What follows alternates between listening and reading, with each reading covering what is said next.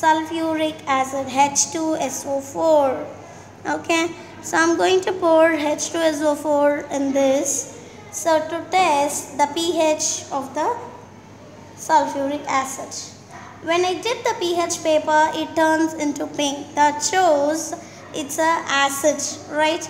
So you can see the color. It's a very uh, acidic you know uh, the sulfuric acid is a strong acid but the acetic acid is a weak acid. So this shows the sulfuric acid is a strong acid.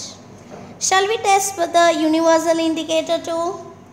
So this is here I'm going to test with the universal indicator. You can see.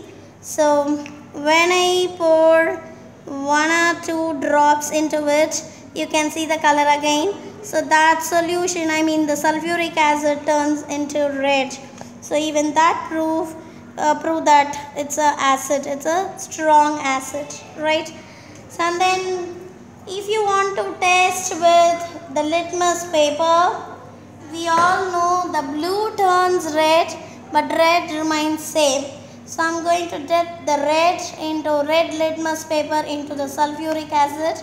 No change, right? So it is an acid. This proves the solution is an acid. Okay. So shall we test with blue litmus now? Yes. So H2SO4 when you put blue litmus over there, the blue litmus turns pink, right? So this also proves it is an acid. And if you put magnesium ribbon into acid, what will happen?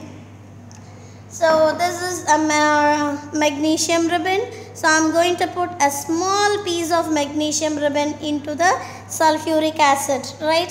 So you can see the bubbles right inside the thing.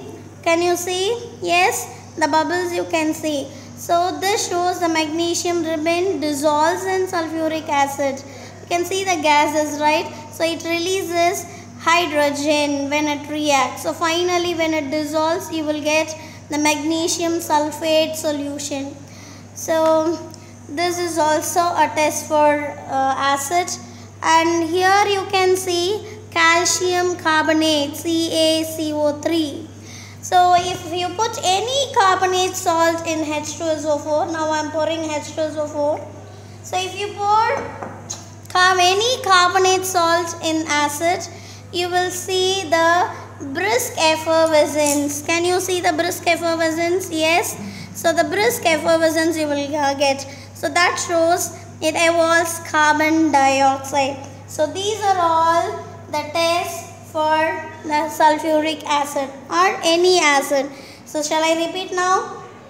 When I use the pH paper that shows pink color, that proves it is an acid. And when I pour universal indicator into it, that turns red.